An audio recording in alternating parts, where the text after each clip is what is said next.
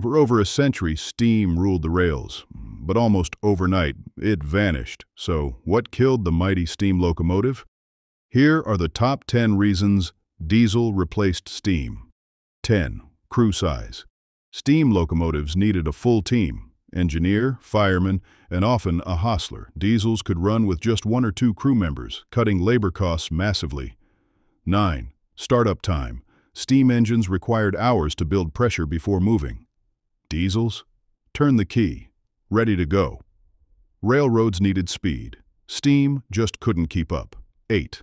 Fuel efficiency. Steam burned coal or oil inefficiently, wasting massive energy as heat. Diesels converted fuel directly into motion, far more efficient per mile. 7. Water dependency. Steam engines needed constant water stops, towers, tanks, refills. Diesels eliminated that entire infrastructure overnight. No water equals longer runs equals higher profits.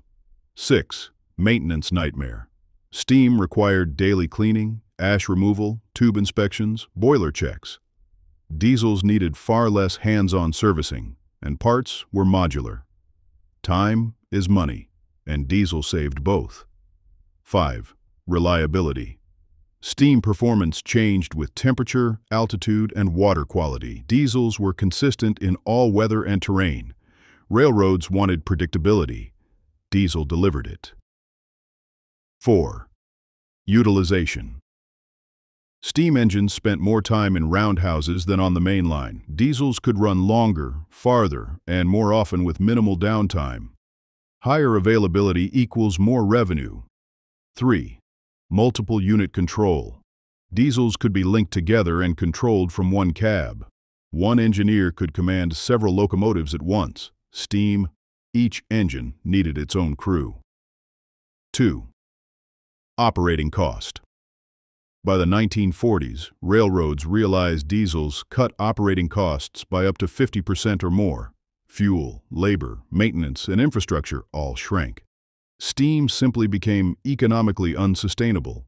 1. Profit. At the end of the day, railroads are businesses. Diesel meant faster trains, fewer workers, lower costs, and higher efficiency. Steam was powerful, diesel was profitable, and profit always wins. Steam was majestic. Diesel was inevitable. It wasn't just the end of an era, it was the beginning of modern railroading. If you enjoyed this breakdown, subscribe to Train Explained for more deep dives into the machines that built the world.